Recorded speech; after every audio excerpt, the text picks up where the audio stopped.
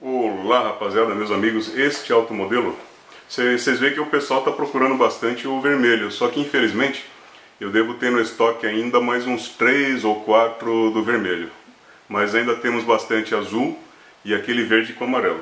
Bom, este aí é o automodelo 1/10, picape 4x4, motor SH18 nitro, duas marchas, vermelho com rádio 2.4 GHz, Vai com Starter Kit, que é o kit genérico de ferramentas que a gente manda de brinde. Vai com acessórios, é um carro novo, completo, original, pronto para rodar, montado, verificado, lacrado, exatamente conforme pedido número 2233, que o nosso caro cliente Alessandro fechou, comprou pelo nosso site www.pedixcomercial.com.br. Esse automodelo é uma picape 4x4, ele tem tração nas quatro rodas, portanto, e duas velocidades, é, duas marchas. Num primeiro momento, quando ele arranca, ele sai em primeira marcha. Quando atinge uma determinada velocidade, ele troca automaticamente para a segunda marcha. Então é uma troca automática de marcha, duas velocidades. É... Quero falar a respeito da questão do amaciamento do motor, que deve ser feito pelo cliente. Esse motor ainda não foi amaciado, é absolutamente necessário, extremamente necessário que seja feito o processo de amaciamento do motor e esse deve ser feito pelo cliente. Veja só o que acontece, o nosso caro cliente Alessandro,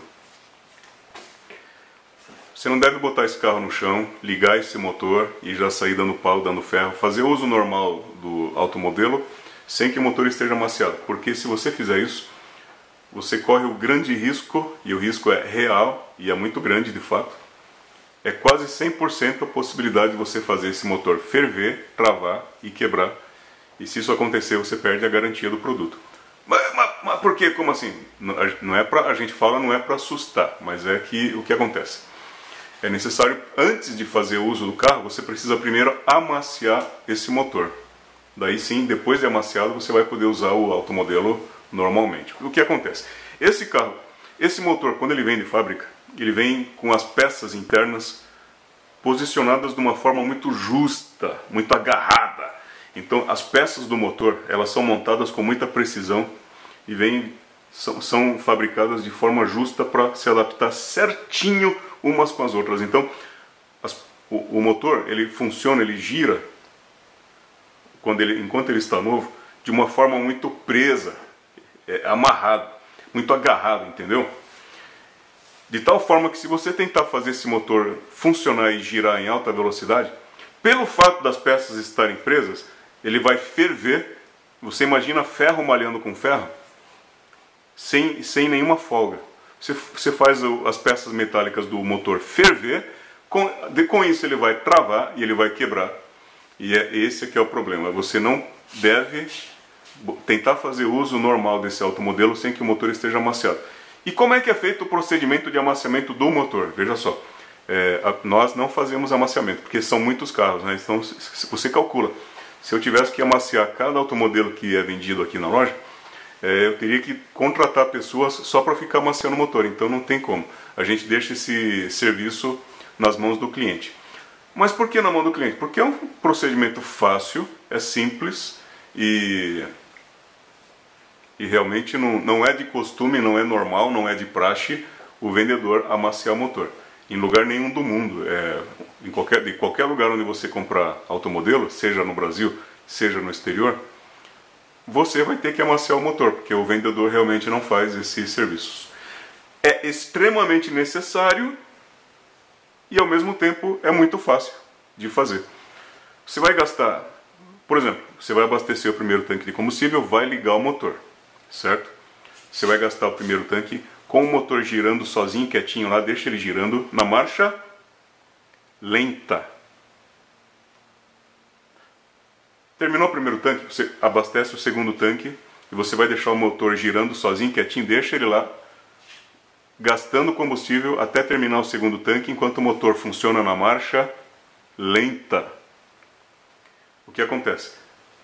Antes ou durante o procedimento de amaciamento do motor, você jamais deve executar altos giros, altas rotações, altas acelerações ou dar acelerada brusca nesse motor, porque se você fizer isso, você pode fazer ele ferver, travar e quebrar, aí danou-se. Então, então vamos lá. Terceiro tanque, você vai abastecer, vai deixar o motor girando na marcha lenta. Quarto, quinto, sexto, sétimo tanque, você vai gastar sete tanquinhos de combustível.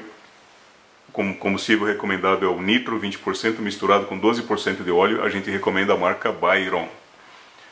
Terminou de gastar sete tanquinhos de combustível com o motor girando sempre na marcha lenta, você pode considerar que esse motor está parcialmente amaciado.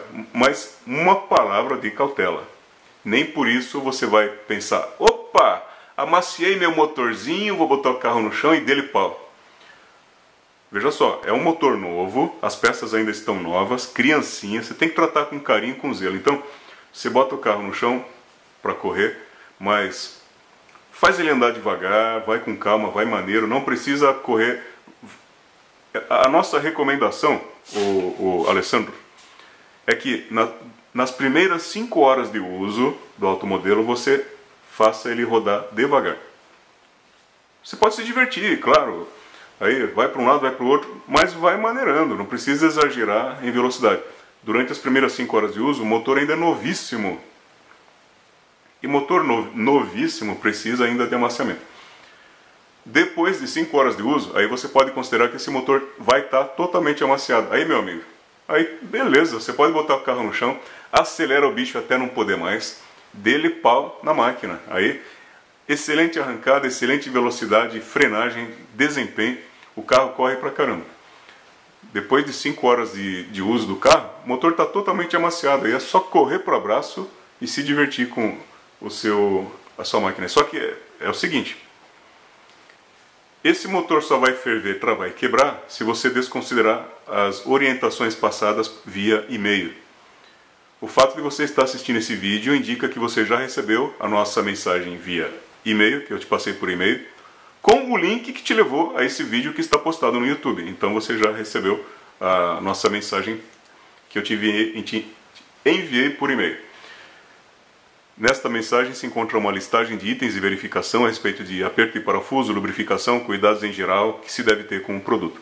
E, principalmente, no que diz respeito ao processo de amaciamento do motor, que deve ser feito pelo cliente. Então, por favor, Alessandro, por favor, leia com a máxima atenção uh, os itens que, que estão na mensagem que eu te passei. Leia um por um, preste atenção em cada item e execute o manuseio do carro exatamente conforme recomendado. Principalmente quando chegar naquela parte do amaciamento do motor, que deve ser feito pelo comprador. É, ali é só você seguir o passo a passo, não tem segredo, não é um bicho de sete cabeças. A gente não fala para assustar, mas é porque é extremamente necessário que o amaciamento seja feito. 99,99% ,99 dos nossos clientes conseguem fazer o amaciamento do motor tranquilamente, sem problema nenhum, não é complicado. Não é um bicho de sete cabeças. É fácil, é simples, é rápido. Tá, mas e se você tiver alguma dificuldade? Passa um e-mail para mim. A melhor forma de comunicação com a Pedix comercial é via e-mail. Por quê? Porque eu, eu mexo com e-mail o dia inteiro. Estou o dia inteiro com a mão na massa. Recebo e-mail, mando e-mail. Então passa qualquer pergunta, qualquer dúvida, qualquer dificuldade que você tiver, passa e-mail para mim. Nós estamos à disposição e nós vamos te ajudar no que for necessário para você conseguir aprender a manusear o automodelo. Mas eu devo dizer, logo de cara, que é fácil, é, é tranquilo manusear automodelos e depois você vai se familiarizando. Qualquer dificuldade que você venha ter no começo, é só questão de pegar os macetes, pegar o jeitinho certo de brincar com o produto. Depois, esse é só o começo. Depois você aprendeu, meu amigo, aí é, como eu falei, correr para o abraço e se divertir. Então, por favor, leia com a máxima atenção a mensagem que você recebeu a respeito de como fazer o processo de amaciamento do motor, que esse deve ser feito por você e não é difícil. Então vamos lá, eu quero te mostrar aqui detalhes do produto. Primeiro, aqui está o Starter Kit, que é um, é um kit de ferramentas que a gente manda de brinde para os clientes. Esse kit de ferramenta é genérico, então independente do modelo, independente da marca, o Starter Kit é sempre igual. É um kit de acessórios que vão te ajudar a fazer o carro pegar. Por exemplo, esse aqui é o aquecedor de vela e esse aqui é o carregador da bateria do aquecedor de vela.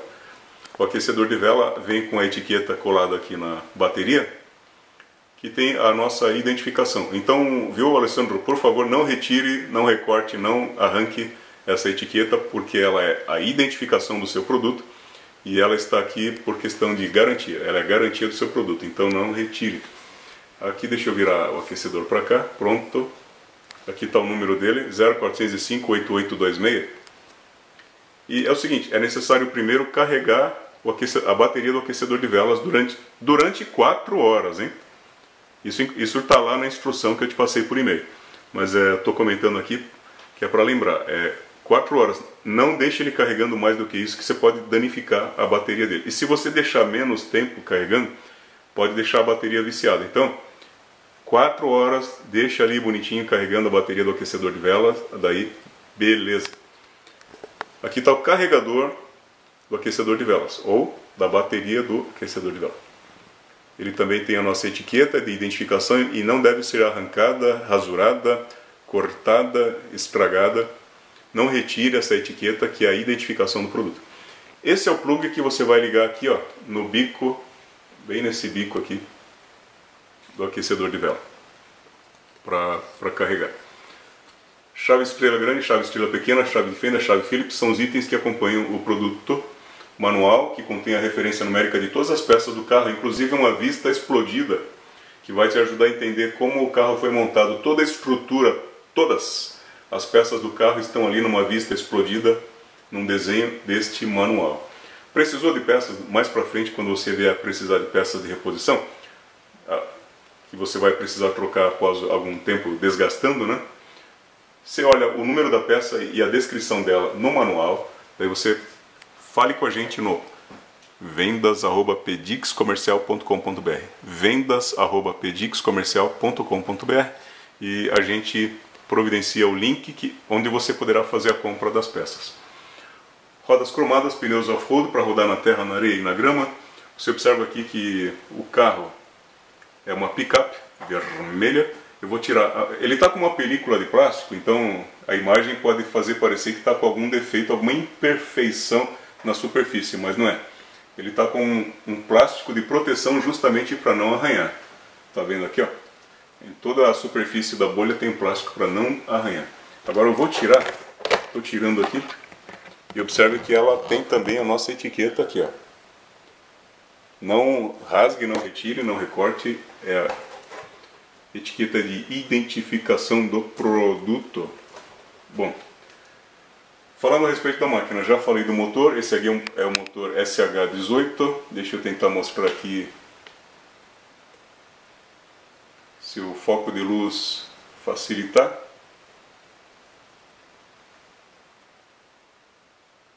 Aí está, ele está com a nossa etiqueta, né?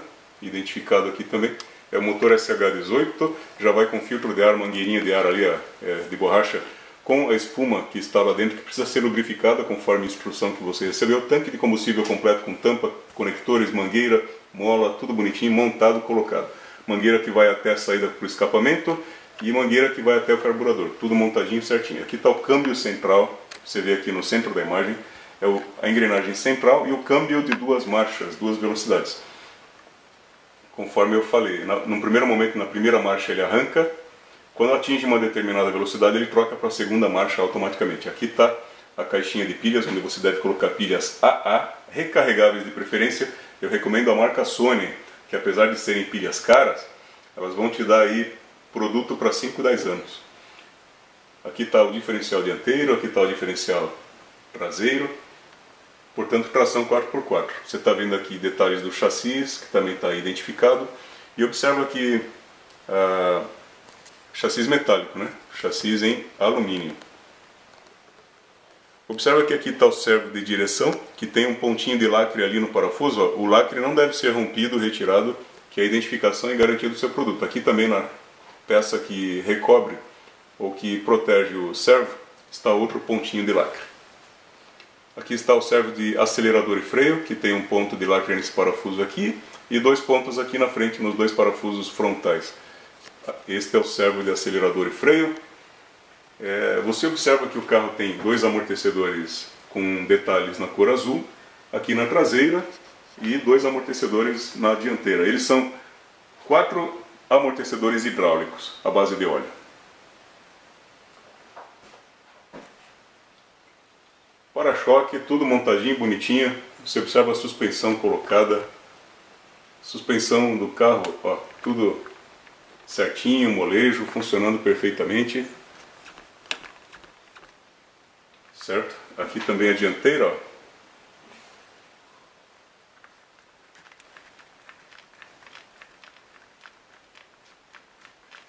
Tudo bonitinho. Agora eu quero levantar o carro para te mostrar por baixo detalhes do chassi. Você está vendo por baixo a suspensão traseira do carro, bandeja inferior, braço superior ali. Você está vendo os parafusos que sustentam o diferencial traseiro e suspensão traseira, que estão com lacre que também não devem ser retirados, não deve ser rompido esses lacres aí. A base do motor também, quatro parafusos que seguram o motor não deve ser retirado. E você observa que o chassi ele é intocado, né, o, o Alessandro? Nós só trabalhamos com carros novos, intocados. A base do diferencial dianteiro e suspensão dianteira também aqui lacrado com os pontos em amarelo. Aqui você tem uma vista da suspensão dianteira.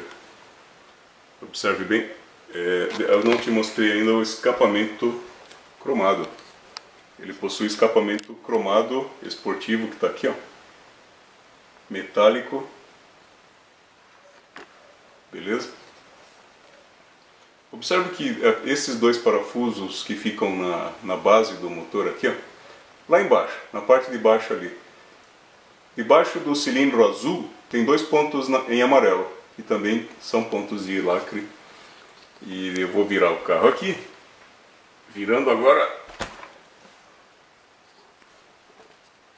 Aqui também a caixa de sistema de partida manual, caixinha de partida manual, também com dois pontos de lacre ali a base do motor ali, você está vendo um ponto no parafuso ali amarelinho. E por aqui você vê o outro parafuso também ali no centro da imagem. Você consegue ver outro parafuso, talvez por aqui consiga ver melhor. Não, por lá estava melhor. Lá embaixo o parafuso da base do motor ali, beleza? Então tá aí, tudo montadinho, bonitinho, pronto para rodar. Falta só pilhas para o sistema elétrico do carro e pilhas para o controle remoto e falta o combustível nitro, nós recomendamos, aliás a fábrica recomenda combustível nitro 20% misturado com 12% de óleo e nós recomendamos a marca Byron, que não costuma dar problema. Aqui está o controle remoto 2.4 GHz, também aqui identificado, padrão GT, é, aqui você vê no vídeo a base do controle remoto onde vão as pilhas, pilhas AA identificação do controle remoto H405-8826. Você leva também esse caninho, que é onde você vai colocar o fio da antena. O fio da antena é esse aqui, ó. Vai por dentro desse caninho, por quê? Para que, que ele fique sempre na vertical, na posição vertical, que é a posição correta do sistema 2.4 GHz. Esse dispositivo aqui você pode guardar, você só vai usar se um dia você trocar de receptor ou de controle remoto você vai usar para fazer a sintonia entre o transmissor e o receptor. O que não é necessário agora, então só aguarda, né? Porque um dia talvez você pode precisar dele. Esses são os quatro parafusinhos da bolha.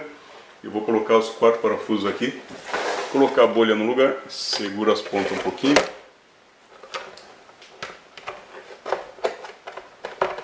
Bom, depois eu, eu só coloquei a bolha por cima ali, depois eu encaixo ela bonitinho e vamos colocar na embalagem e mandar para o Alessandro, que é da cidade de São Gonçalo, no Rio de Janeiro. Espero que se divirta, parabéns pela compra, qualquer dúvida fale com a gente, estamos à disposição. Tá aí, ó, starter kit, manual, controle remoto, carro montado, só falta combustível e pilhas, e falta, lógico, fazer o amaciamento do motor.